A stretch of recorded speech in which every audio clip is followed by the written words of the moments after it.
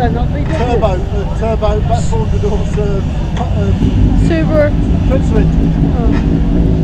He should, he should, he's never run right because he's, he's always had problems, but he's fine. Hopefully he's fixed his problems right.